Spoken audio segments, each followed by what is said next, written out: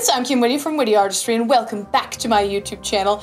I had to continue the Big Cat series per your request and turn into an ocelot, so let's begin. I want to say a massive thank you to my featured patrons Bradley Shear and Dantastic. Thank you guys for always having my back in such a huge way. It means the world to me.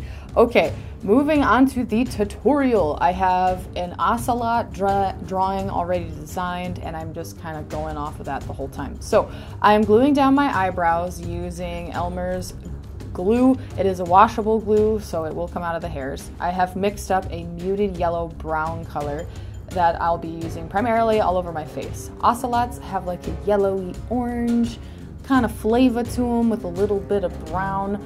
So I just had all those colors mixed up. I am mapping out the color areas that are going to be primarily that yellow brown and also white. This is a really important step. Make sure you map out where the whites go because the whites will never be white completely when painting over another area or another color. Using a dark brown, I am mapping out the brown areas of the ocelot as well. So this is around the eyes, up on the eyebrows, around the mouth, and just periodically throughout the whole makeup I'll be using this brown as well. But I need to have the areas mapped out so we don't have um, muddying of the colors, especially since the yellows are really light, the whites are really light, and the ocelot has a lot of dark spots. The ocelot is actually one of like the prettiest creatures out there in my opinion. I discovered it when I was doing Big Cats research um, they have like ridiculously large eyes. They're covered in beautiful spots and these like stripes too. So like they got the best of both worlds when it comes to their fur. Okay, now I'm starting to layer the colors. So as usual with my fur videos, I lay down a mid-tone color that I'm going to be building texture and color on top of. Color, our fur is never just one solid color. It is a mix of different versions of that color.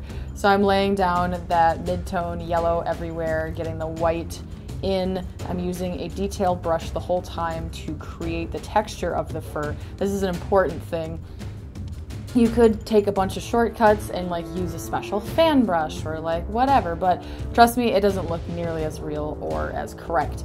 When you are using the detail brush for the little hairs, you need to make sure you keep in mind the length of the hair and the direction that the hair is growing naturally on the cat.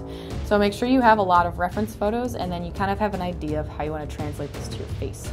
Okay, ocelots have a bunch of cute little spots, so I'm adding those in between my eyebrows on my forehead and uh, they have a bunch of big spots, but they usually get bigger the further away from the center of their face they are. Adding some brown to the lower part of my lip. I've also added it to the outsides of my nuzzle, my muzzle, and uh, around the white spots on my eyes. Add some spots to your chin and also your cheeks. Keep in mind the direction that the hair is going, so it's usually going outward and downward away from the eyes in the cheek area. Fill in the rest of the muzzle with white. Add some dots. And adding more texture with the white. So once you have like the basic spots down for, or the locations down for the body paint colors, you want to fan out the color with more and more little lines to make it look like it's it's growing. It's underneath other layers of color. I am adding in that dark brown on the edges of my mouth. Ocelots have a very pronounced muzzle area and obviously I'm a human so I don't so I'm trying to emphasize that by highlighting the muzzle and then creating shadows around it.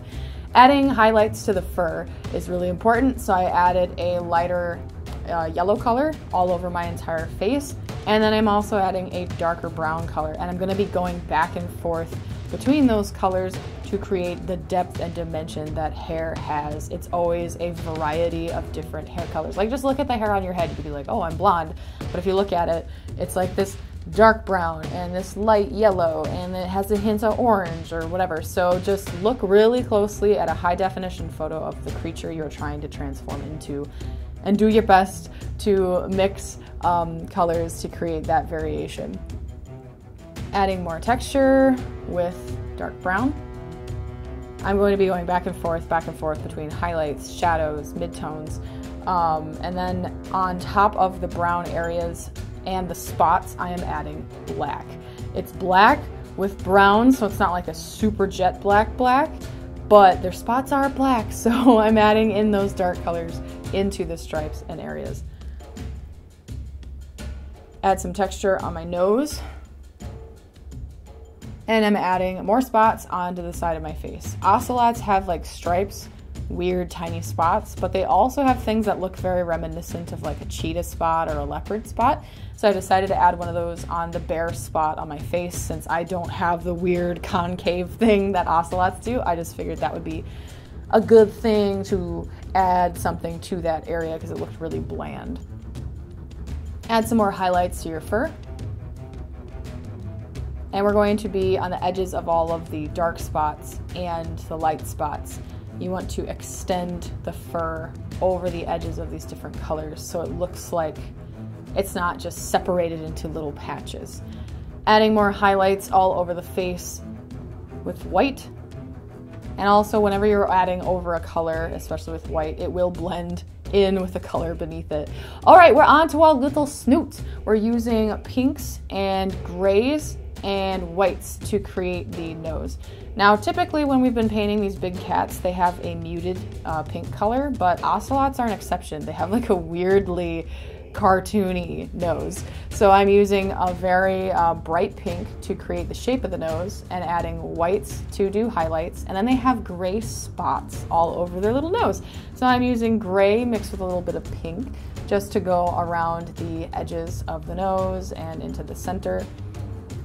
Ideally, if you had a prosthetic to better replicate their muzzle, I would recommend it, but like I'm just doing illusions of body paint, so that's what I chose to do. Adding these spots to the muzzle, they have like the most adorable little faces. Oh my gosh, there's just so many beautiful textures, beautiful spots. So I'm adding those into the muzzle, making sure they get smaller the closer they get to the center.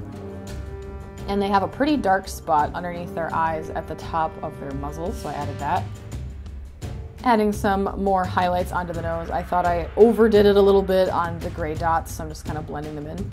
And now to my ears. I want to match them to the rest of my face, so I'm painting them that mid-tone yellow color. And then on top of it, I am adding the mid-tone browns, slightly darker browns, slightly lighter, etc., etc., and then painting the tops black. Now, the purpose of this is to make my ears kind of just blend in with the makeup and not be a focus of attention because I am going to be putting cat ears on the top of my head. All right, I put in the contacts and now it's time to paint the eyelids. So I'm painting them black and you have to wait for them to dry before you can open them back up again and then powder them with black eyeshadow. This will help prevent them from cracking.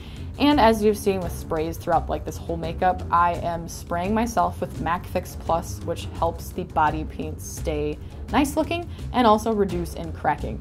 I put my hair up in a ponytail up into a bun and then covered the bun with a black fabric piece, which is a trick I use to make it look like it's gone and it blends into the black background.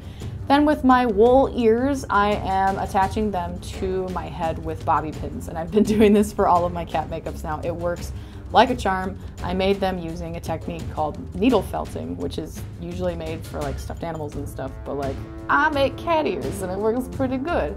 I have a tutorial up on my TikTok if you want to check it out.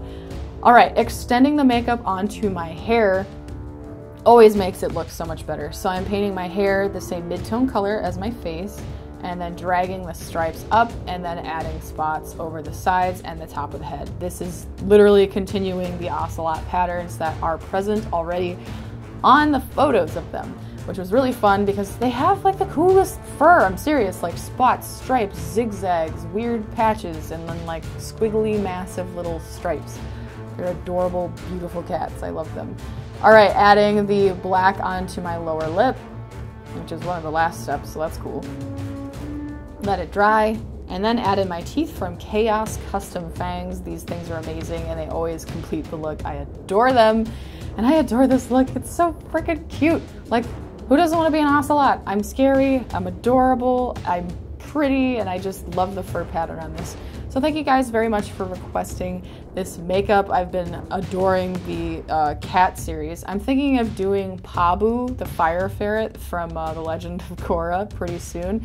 Also, lots more uh, Halloween looks coming your way. And please follow me on TikTok if you want to see uh, videos ahead of time, and join me on Patreon if you want all behind the scenes. Thanks, guys.